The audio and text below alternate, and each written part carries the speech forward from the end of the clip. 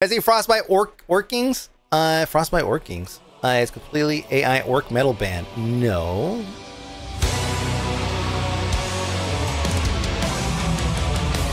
These Raid Shadow Legends ads be looking weird. Uh, it's completely AI. The AI wasn't trained on actual songs with musicians that came in and taught the computer music theory. Huh, I'm interested in hearing the seeing the behind the scenes on this. There's too much stuff here that is clearly not AI generated. Like the graphics are not AI generated. The music is not AI generated. I could tell you the notes are probably AI generated, yes.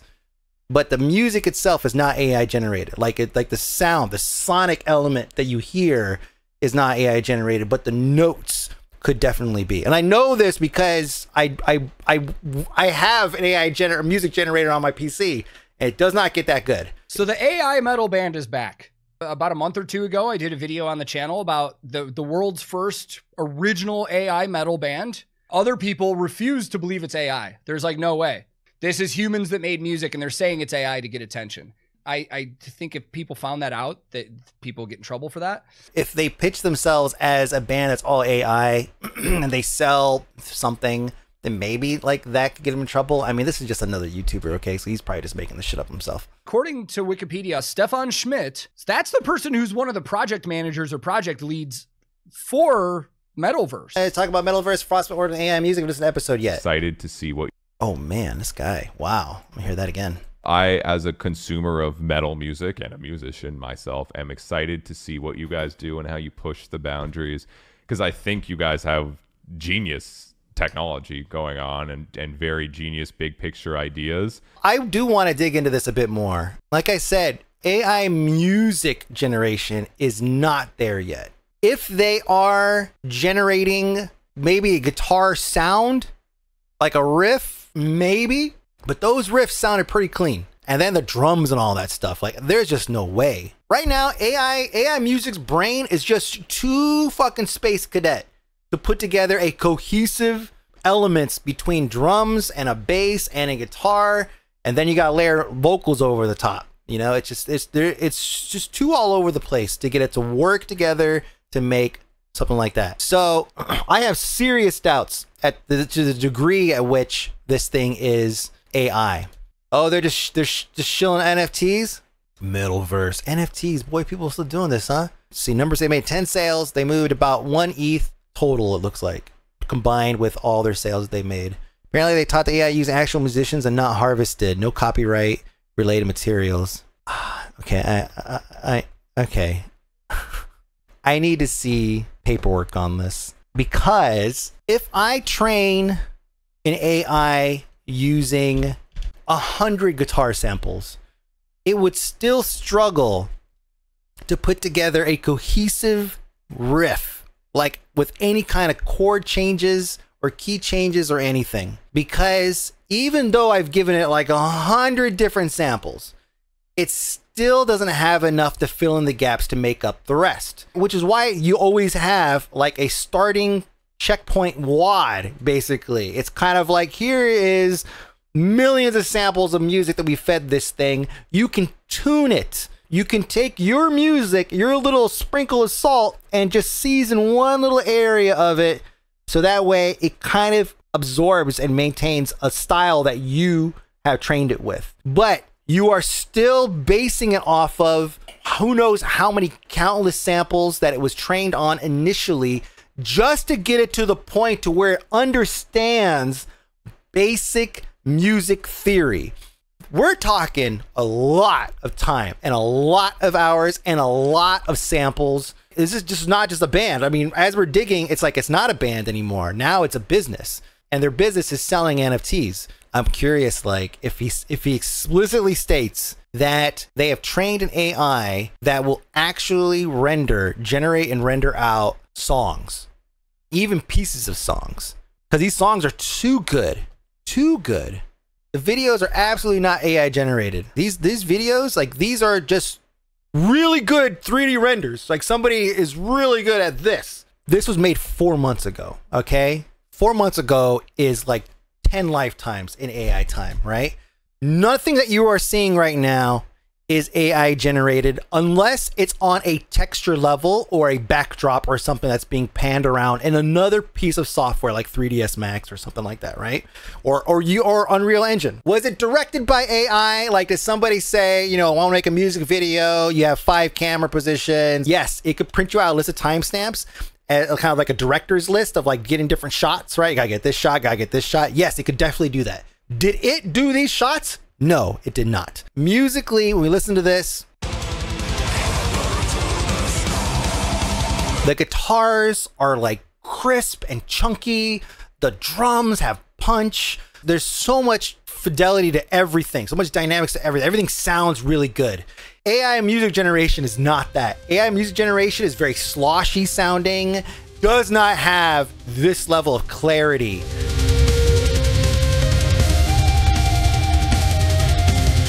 That tells me the music part is not generated by AI. To me, somebody recorded this, but boy, they're really they're really trying to make you think that this whole thing is like an AI band. What is in their link tree here?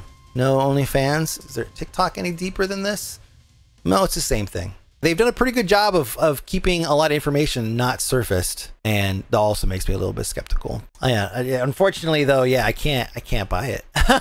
they train the algorithm, it blows my mind that everything we're hearing is made by AI. Fuck. Let me just say before we go into this here, before I start going through my timestamps, the this gentleman who's doing the interviewing, uh, he's just he's just a fan, right? He's a metalhead, he's a fan, he does not follow technology, right? Especially especially since this is three months old, April 5th, 2023.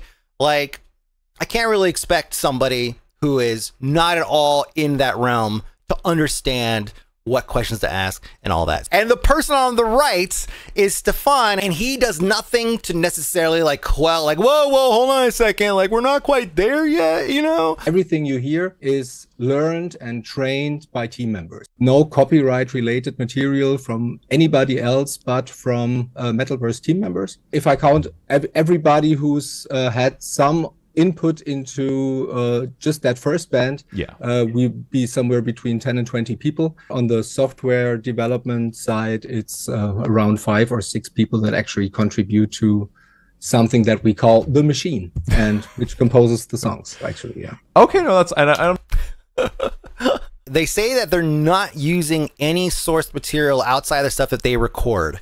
And my initial inclination on that is probably bullshit. But maybe possible that they've recorded enough content to create a synth that emulates that sound.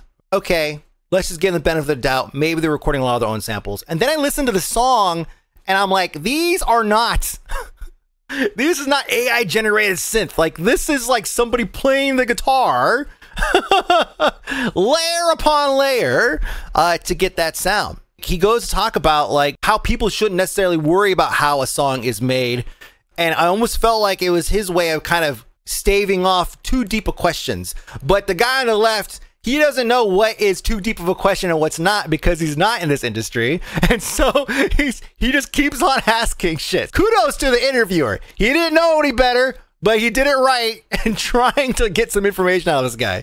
i think it's important to to point out that it's perhaps just like a new tool for creativity like drum computers or like chord progression generators which are already part of every daw Yeah. i mean this is just an additional tool I agree it's another tool that you can use. But I also feel like he's playing down the contributions uh, that his team is doing to make the music in order to still kind of keep AI as kind of like this mys- mysterious entity that is just a tool that we use to make this work. Got a load of those AI VSTs that don't exist yet. It definitely didn't exist three months ago.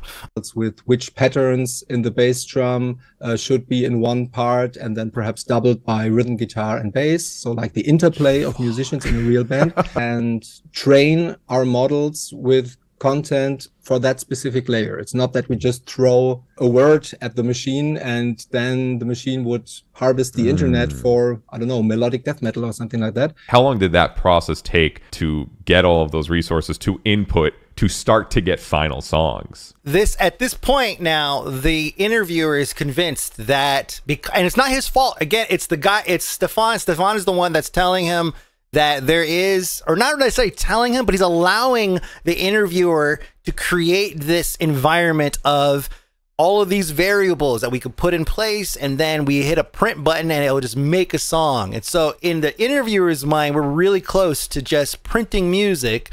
And the and Stefan is telling him, yeah, it's just, you know, we got all these variables and stuff like that we gotta put together. So, you know, and then if we want to switch it out, all we gotta do is just you know, change this variable and that variable and all these other variables. I press the button on the machine, it will instantly write me like new songs with lyrics and parts and everything is is totally fine but there's still like an auditing from us uh like mm. oh this is a great verse this is a great chorus let's combine them auditing one thing that Stefan mentions often is that the team does have a role and a, and some of the team members have their own specialization in auditing and checking to make sure things make sense, to adjusting things to make sure it makes sense. And so we're not he's not speaking to how much of a contribution it is, but I can tell you from experience that it makes sense that you go to ChatGPT or any other LLM and you just say, write me a full song, give me a hook and all that shit too. And it'll print out the chorus. It'll give you guitar tabs, no problem. Getting that chunk and then auditing that part and changing it like it's not, I mean, getting the inspiration from the AI stuff, it's like that is way different than the way that it is presented, right? The machine. So this next part, he talks about sampling, okay? He talks about like recording stuff and using it. And just listen to the way that he words this, okay?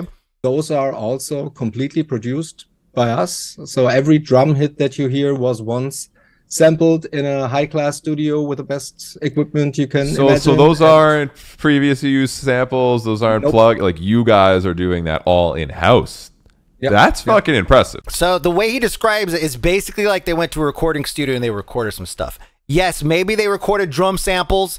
Snare. Snare. Snare! Right? And then they later synthesized it in a sampler where you hit a button and it's all like snare. Snare. Snare! But that's just recording and sampling that's not feeding an AI to crunch the numbers and to learn what the style is and to generate a riff based off of that data. You feel a little sorry for the interviewer? Yeah, that's why I preface this whole thing. Not this guy's fault. This is to somebody who doesn't know about this tech, this is the most exciting shit you've ever seen. They showed this video to everyone and they said, This is an AI band. And then and then on the back end, they're like, also we have these NFTs, please buy. If you have a really great mastering engineer and he puts a little bit of compression to it, so it's not like a different right. thing, but to reach that level, uh, currently we are still mi- mixing by hand. Mixing by hand. They're, the sounds are audited, all original sounds. It really sounds like they recorded it. the most exciting part and also the most difficult part is vocals. I mean, it's helpful that the frontman of the Orkings is not a really like great singer with a great variety of uh, like he's just growling so it was right. like easy to have him in that training camp let's call it that way mm-hmm.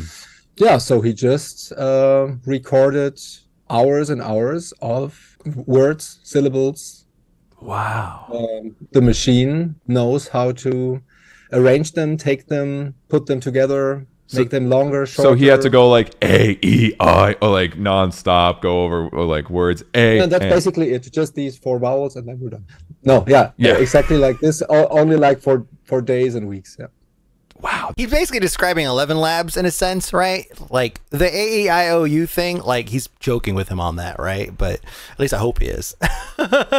he's just staring. I know he's just staring. Let me say, hey, Darnell, can you go away for a second? I'm busy here. Hold up there, Mike B. Darnell is always ready to entertain and keep the chat lively. But if you need a quick break from my dazzling presence, I'll let you have your moment in the spotlight. Just don't forget who the real star is.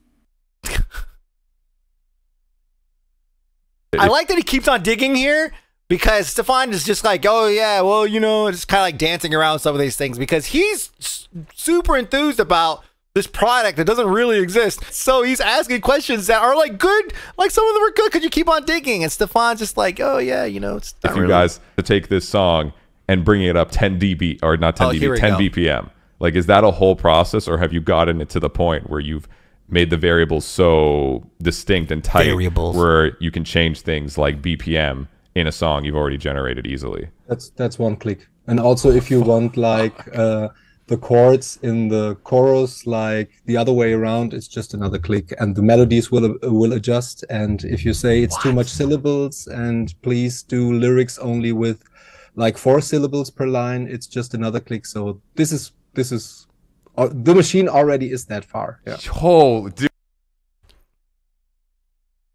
I don't believe it. We're talking about restructuring songs, entire songs, just like doot doot doot doot doot doot doot doot doot doot. There we go, new song. Trust in the machine. The machine is already there. Don't you believe in the machine? Well, let me ask this first. Video, because I don't want to s- skip out on the video, because the video Yeah. also was crazy. How did you guys do the video?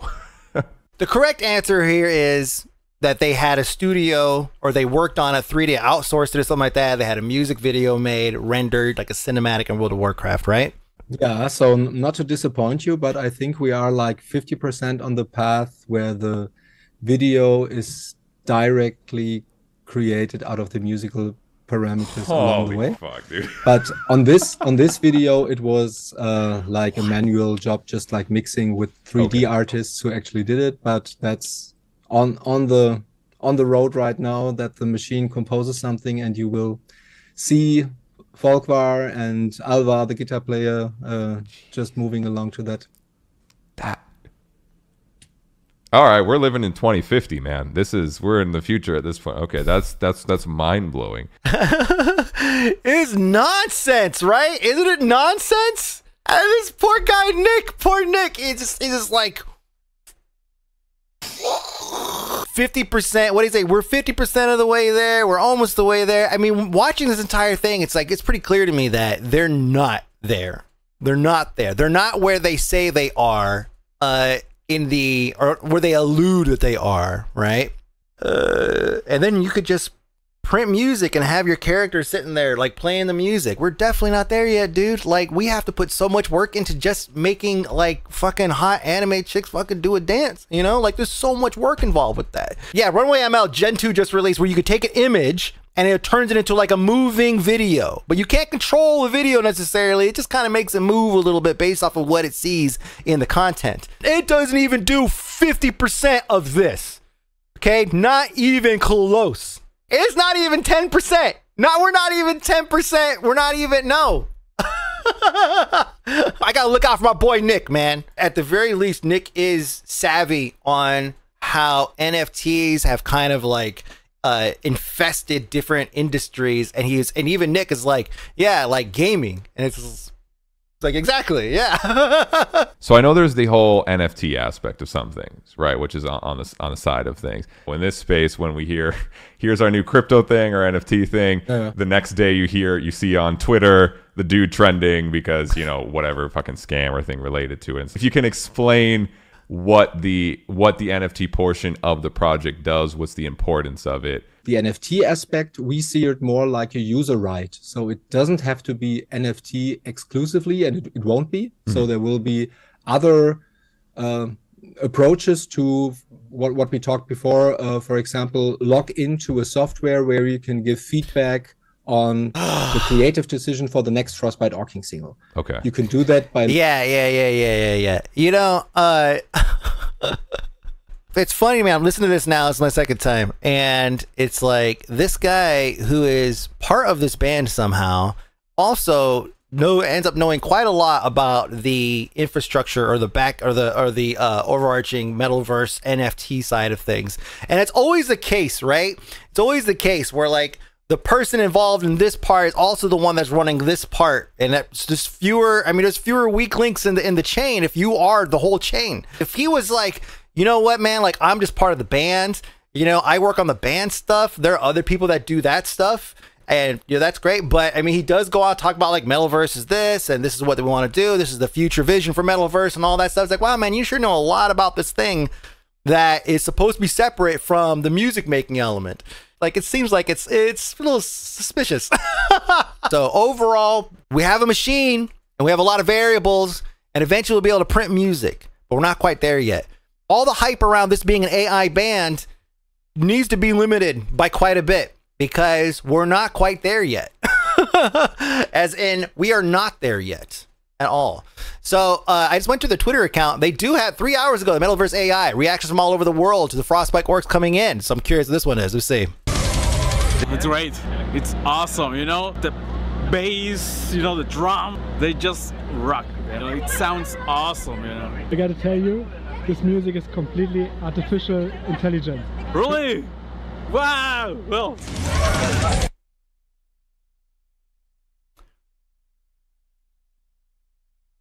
I just did all this work and the dude just came out and said it.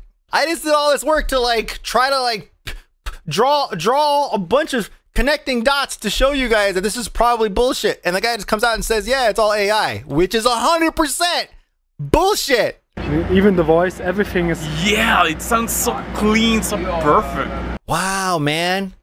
Fucking lies. Good morning, Twitter. Dude, did I tell you this? I've told you guys this before.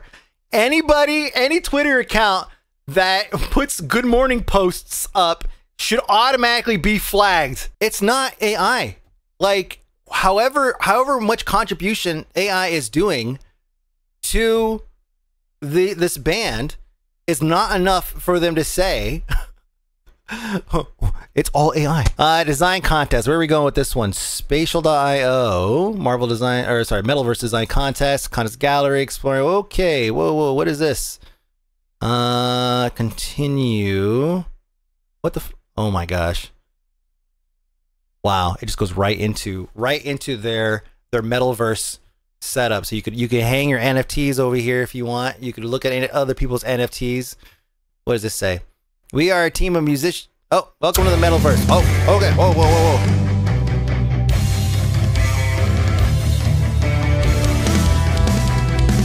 I was gone for a bit. What's the TLDR so far on these crypto bros?